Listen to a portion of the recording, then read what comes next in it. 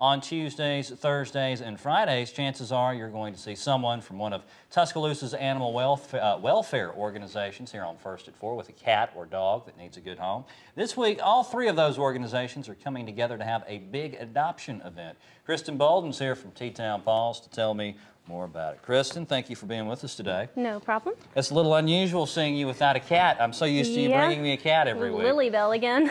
Oh, wow. Did Lily Bell finally get a home? I haven't been by to check, actually. Oh, wow. Yeah. So Lily Bell could be roaming around T-Town No. Actually, no, you guys are moving, aren't you? Uh, yes. What's going on? Um, we are moving, but I'm not exactly sure where yet. I guess they'll call you and tell Yeah, you I hope when they're ready for you to come back. I hope so. And that's why you guys don't have an animal with us this week. Right. Um, all of our animals are in foster care. We've got one dog in foster care and two cats in foster care that uh, do still need to be adopted.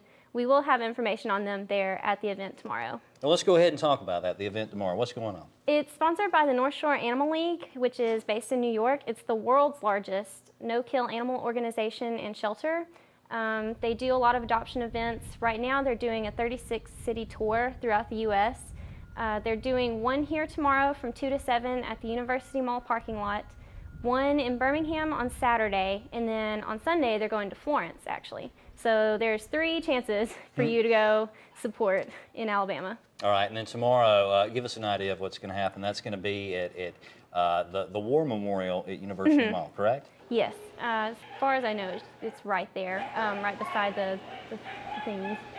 The, The, the warm, plane and yeah, the, the plane and the and- tank. right. Really, whatever's there. Um, it's all going to be set up right there. There'll be refreshments. Uh, you can pick up information on pet adoptions and uh, different, just different facets of shelter life for them. Uh, there'll be information regarding general pet, pet care, uh, and like we said, uh, all three organizations are going to be there. The Humane Society of West Alabama, Metro Animal Shelter, and T-Town Paws will be there with uh, information on adoptable animals.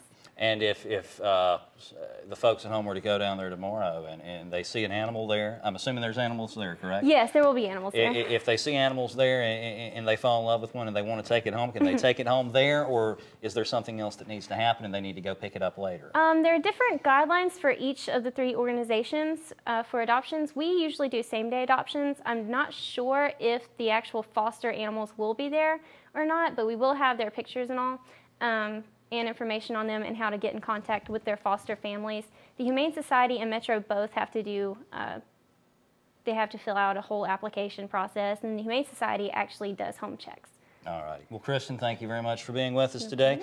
Tour for Life is your chance to give a safe, loving home to a deserving animal, and it's happening this week, Thursday, April 7th, at the War Memorial at University Mall. For more information, call 205 752 9101.